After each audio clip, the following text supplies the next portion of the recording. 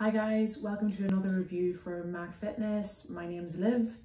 Last time I took you through one of the supplements I was having, which was Dynamatized WPI. Today I've got another WPI um, by International Protein. So I've been trying this for the last few weeks uh, in the chocolate raspberry flavour. This one's obviously the vanilla ice cream.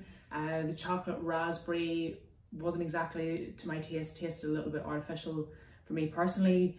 Uh, I tried the vanilla ice cream and I absolutely adore it. Um, and then the other great thing is it's 35.3 grams of protein per scoop, which is absolutely amazing. So this is best to be taken post-workout.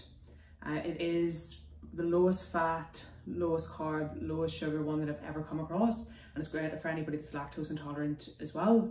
Uh, if you are the same as me going through a, cut or on any restric restricted calories, this is fantastic for you. It's only 152 calories per serve.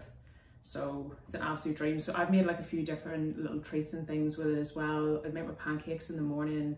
Uh, I've done protein balls with the chocolate ones. And now I'll show you something else that I make every single day that's great to have. Feels like a little bit of a dessert, but it's not. And you can have a post workout. All right. I'm gonna take you through my favorite one to make. How excited are we? All right. I'm sure you've probably done this before. A little bit of water. And we're gonna do some ice. And obviously the more ice we have in there, the thicker it's gonna be, the more it'll be like an ice cream or like a milkshake. This is what we're going for. I don't know whether anyone's seen that. Oh, ice bear. one scoop of protein.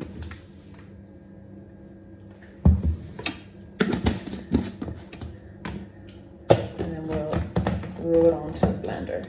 Don't forget as well, if obviously you're not restricted on calories, throw a little bit of peanut butter in there, bananas, any type of fruit, way to go.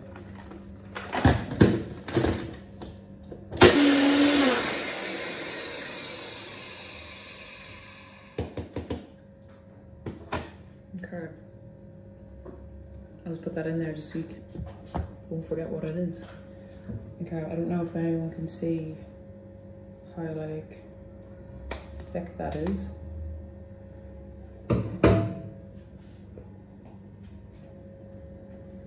It's basically like a big vanilla ice cream milkshake.